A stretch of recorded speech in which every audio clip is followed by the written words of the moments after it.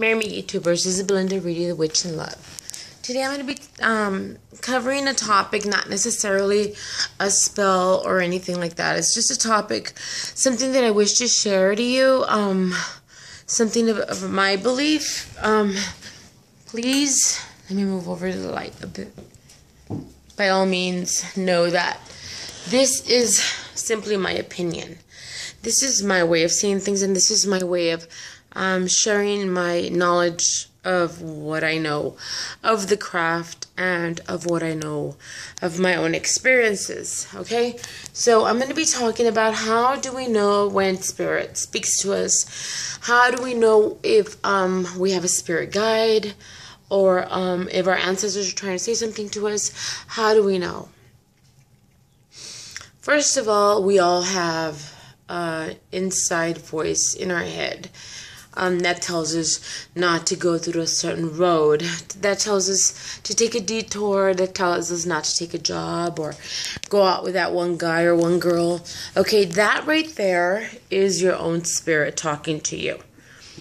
Spirit comes in many forms. Spirit can come in form of another person. It can come in form of a, a bird, a nature. It can come in form of a dream the thing is not to stop listening. Don't close your mind. Spirit can come to you and say a few words of wisdom from a bum walking past you on the street. That's a horrible word to say, just like a homeless person or anybody, just anybody, all right? The, the thing is to know when to listen to spirit.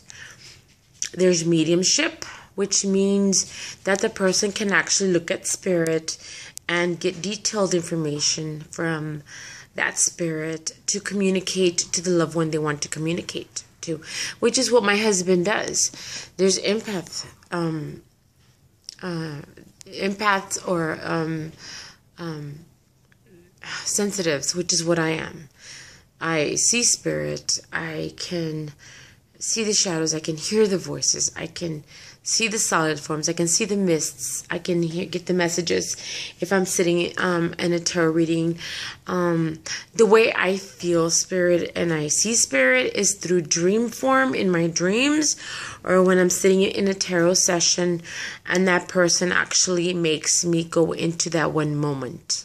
That one moment when they were in that pain, that one moment of a conversation, that moment, that one moment of that one particular that one particular moment that they want me to express to the person. So I actually can feel, I can cry, I can get angry um, because that spirit comes and makes me feel that. That's the way I see spirit. Also, another way that I listen to spirit is by that inner voice. Another way I listen to spirit is by nature itself. Um, if I need a question answered, I'd go outside under the moonlight or no moonlight, whatever, ask a question, feel the earth, feel the elements, and see what I get back as a feedback. Um, whether it be a tree brushing, whether see I see a bird flying by, a song playing. There's so many ways, endless ways that spirit tries to contact or communicate to you. The thing is to keep our eyes and our ears open, not to be closed minded, not to think that you can only communicate through spirit in a circle because they're all around us all the time.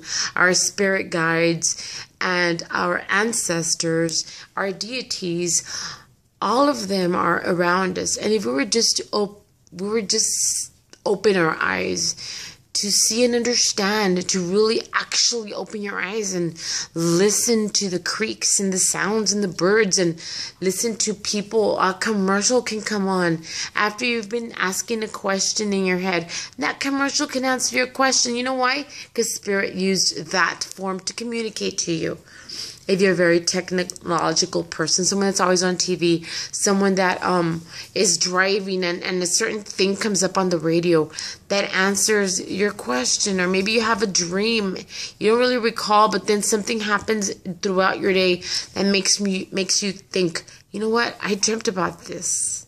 All right, so this is just me, my way. Um, of sharing a little bit of my experience, a little bit of my knowledge, um, trying little by little to develop more information for you guys, to bring more information, more knowledge, more spell work for you guys. This was just a little tidbit that I wanted to share to you because I just felt like I had to say this. Um, when our loved ones pass, there's always ways that they communicate to us, whether it be in a, a song or whether it be in a, a feeling, or um, sometimes you will see them or dream of them. Just know that when you do dream of them and it feels really real, that's because it is. All right. So don't stop looking. Don't give up. Spirit is with you every day, all the time. All you got to do is fine tune those little signals in your head and really take listen to the universe to the spirit talking to you to your ancestors to your deities. They're there. All you gotta do is really listen. Take care you guys. This is belinda reedy the witch in love. Look for me on facebook on to love a witch and like and subscribe. Many blessings